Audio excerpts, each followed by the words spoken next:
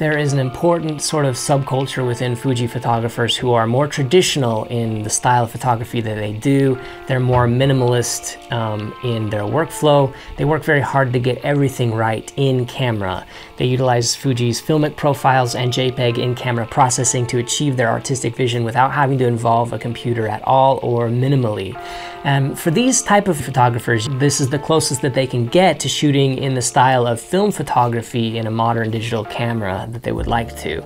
And that process appeals to them as it is true in some regards to the filmic tradition where the profiles that they develop in camera closely resemble film in both style and in creative constraint.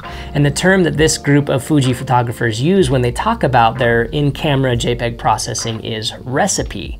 This was a term coined by Ritchie Roesch, the author uh, and founder of Fuji X Weekly, which many of you will be familiar with. Ritchie was one of the first who started experimenting with recipes and making these recipes available for others. But we'll come back to Ritchie in a minute. But for those of you who hear the phrase I repeat often, digital art with an analog heart, and for whom that phrase resonates, you'll appreciate the appeal of an in-camera process. But it may come as a surprise to you guys that I don't actually shoot with in-camera JPEG very often. Um, during the last four years or whatever of, of shooting Fuji, four or five years, our process has largely been the same. Denae and I both shoot with the same cameras and often the same memory card in RAW. Denae typically does the culling and editing once we've got a card ready. And um, by edit, I use the more traditional term where she's choosing the shots that we keep and those that we do not and then I go in and do the retouching. Um, it's during the, that, that retouching process, um, whether in Capture One or Lightroom, where I ultimately decide which Fuji color profile to go with as a basis, and then we tweak the colors and curves and exposure after. But typically, unless we're talking um, stylized fashion photography or something with more modern feel, I'm going to just go with um, a Fuji filmic profile like Portra, Astia, Classic Chrome, or Acros, and only make very small tweaks after that. And in that process, often Denae and I do a little back and forth to find a neutral happy ground where we're both pleased. So for us, um, we share just about everything, including credit for the photography. Um, we share an Instagram account. We often can't remember which of us took which photo. And for many of you, that might seem odd, but for now, it's working great for us. But because of this sort of shared vision and process of photography, um, and also, just because of the natural give and take when it comes to the style of retouching that we do in post, for us it makes a lot more sense to shoot in RAW. So when people ask us to share our recipes that we used, um, which actually is a question we get very often, I can't give you an answer. But lately, as I've been experimenting more with Fuji X RAW editor as well as Fuji's in-camera processing, I've come away enjoying the results I'm getting from Fuji's in-camera processing far more than I am with Capture One or Lightroom for multiple reasons that I, maybe this isn't the right video to get into all of that. Um, but additionally, the older I get, the less desire I have to sit in front of a computer and retouch photos. I derive a lot more satisfaction out of the whole process when I can get everything right in camera and take a photo straight off a photo dump and feel good about it being ready for print, for sharing, or for archiving without a big fuss or to do. For me, it really has brought so much more life back into photography, and so I've been diving deeper into recipes and experimenting with them. So, over the past month, I decided I would choose a specific recipe, or I guess family of recipes, and see what effect that it had on my photography.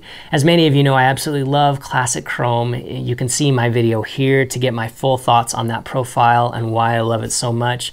But the promise that it was the modern Kodachrome had always felt a bit hollow uh, the more I got into it. It wasn't until I studied the photos of Ritchie Roesch, again from Fuji X Weekly, that I finally felt like someone had nailed that Kodachrome look um, and had unlocked what, what classic chrome could be, and that is that it could be a modern Kodachrome if it was tweaked slightly. Now, for those of you who don't know what Kodachrome is and why it's special, just a little bit of history for you. Kodachrome was one of the oldest and longest running color slide films available. It went through many iterations in its time um, over decades, um, but it was well known for being flexible for documentary photographers in particular more than most films. And um, at least slide films. And that means that it had more dynamic range and latitude. So if you messed up exposure in the heat of the moment, it was going to be more forgiving than other types of films. Not only that, but it was great for archival. So from a practicality standpoint, it was a photojournalist color film choice for decades, being used extensively or even exclusively by photographers such as Steve McCurry and Alex Webb. Sadly, though, in 2009, Kodak discontinued production of Kodachrome owing to the processing required to develop it. Unlike C41 or E6 color films, um, it's impossible to process Kodachrome at home.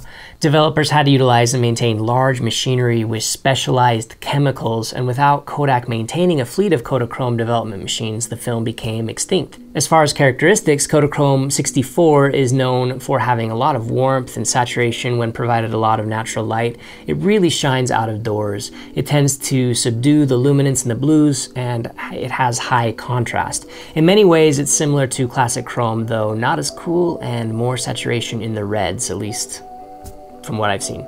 And for me, um, who didn't find a love and passion for film photography until long after the death of Kodachrome, but who feels so much inspiration from photos taken on Kodachrome, it's a very sad thing.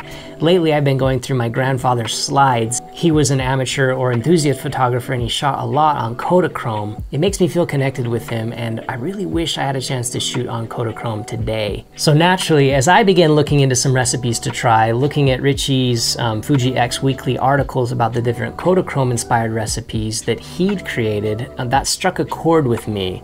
So I bit the bullet. I switched my camera to RAW plus JPEG and I began punching in these settings to see what I could get. Now there are several different iterations of the Kodachrome profiles on Fuji X Weekly, so I started with Ritchie's Kodachrome Vintage. For this one, Ritchie tried to follow an older Kodachrome um, style which has different qualities than later Kodachrome film, which you can read about on, on the articles that he has. I'll link to those below. And that's a fun one and it can work really well in the right type of light.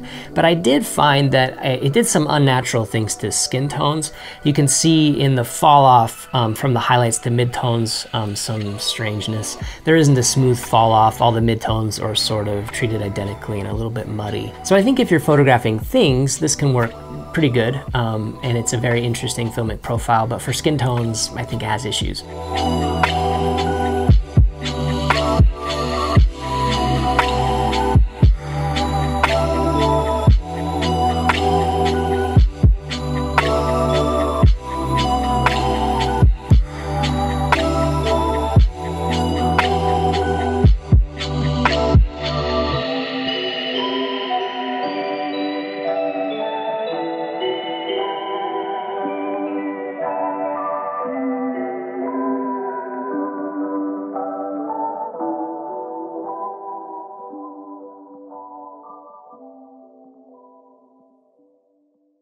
So next I moved on to Ritchie's Kodachrome 64 and Kodachrome two profiles. These two are very similar with only a couple minor tweaks.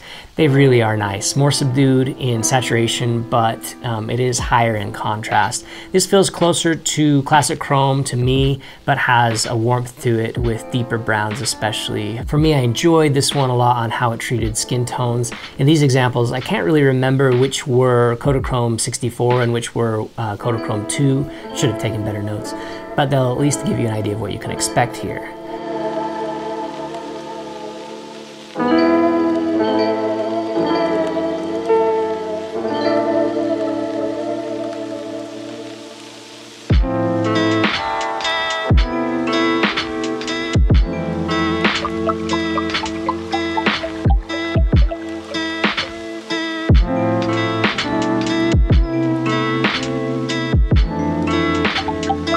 So my next step was to make this my own to more of a degree, and I did this by bringing these shots up in Fuji X RAW Studio. And for anyone wanting to really dial in a recipe or set a, uh, get a set of recipes that work well for you, I'd recommend trying this out.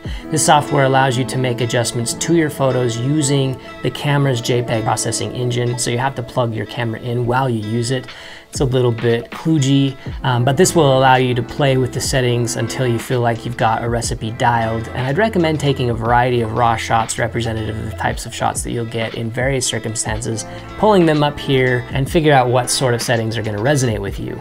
Once you've got that figured out, it becomes a simple thing to punch those back into your camera and save these as new custom profiles that you can switch between later. So in case any of you are interested in the Kodachrome inspired recipe that I've come to appreciate the most over this process and which I can guarantee that I will be using much, much more in the future, as long as Denae is okay with it, of course, is um, the recipe on your screen now.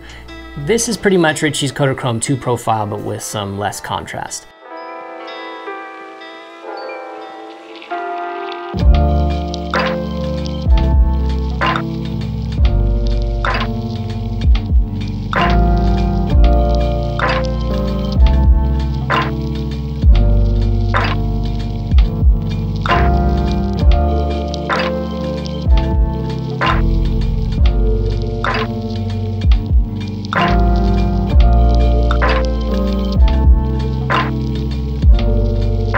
If you enjoyed this but felt like maybe it was a little over your head, I'd encourage you to join the channel at the mentorship level. I'd love to provide you some more hands-on instruction as well as give you the opportunity to work your way through my many workshops designed to help you master your Fuji device and the art of photography in general. I'd also encourage you to subscribe to Fuji X weekly updates, and I want to give a big thanks to Ritchie again for all his experimentation and sharing of knowledge. The Fuji community has benefited a great deal from that work, and it's done a lot lot to inspire a lot of people, including me. But that's all I've got for you for now, guys. Remember to do some good with your Fuji Filmic profiles, and we will talk to you again real soon.